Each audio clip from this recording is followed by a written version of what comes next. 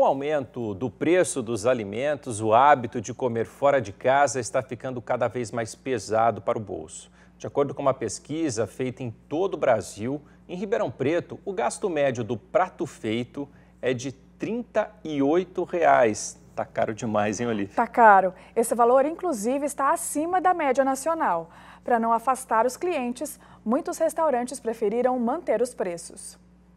É hora do almoço para os amigos. A escolha pela refeição fora de casa foi pela praticidade. É mais por questão de comodidade. Para mim, chegar no restaurante é mais prático. Eles escolheram pratos individuais com preço médio abaixo de 30 reais. Valor mantido pelo proprietário do restaurante, mesmo com forte reajuste dos alimentos, que superou 30% durante o primeiro semestre deste ano.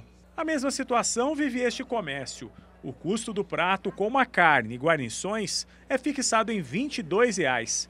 Aqui eles apostam na diminuição dos insumos e no aumento do giro dos clientes. A nossa estratégia é tentar ganhar no giro, é manter uma alimentação saudável, com preço justo, em um ambiente adequado, para que esse cliente permaneça vindo e divulgue isso para outros consumidores, para que a gente tenha o desafio de ganhar no giro e não repassar esses custos para a população que também tem sofrido demais.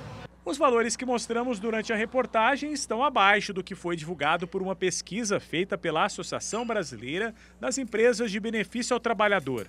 O levantamento indica que o gasto médio do trabalhador em Ribeirão Preto para fazer uma refeição de prato feito seria de 38 reais, 8 reais acima da capital e da média nacional. Este analista econômico confirma que a comida está mais cara, mas que este tipo de divulgação pode não mostrar a realidade no município. Quando nós consideramos Ribeirão Preto, nós temos Ribeirão como um polo em que nós temos trabalhadores é, e temos estudantes durante a semana e aos finais de semana nós temos também um, uma significativa visitação por parte de, de turistas que vêm consumir na cidade. Isso faz com que se pressione sim um pouco o preço, mas alegar que que é a, a, a média, a maior média do país, é, é um pouco complicado realmente. A boa notícia é que a inflação deve ser pequena nos próximos meses, o que pode ajudar as empresas. Pode ser que aconteça ainda esse, esse aumento nos valores. É, no entanto, hoje ele provavelmente acontecerá, esse aumento, por conta da inflação que ainda existe, apesar de ter sido um pouco mais lentificada e provavelmente acontecerá de maneira um pouco mais gradual.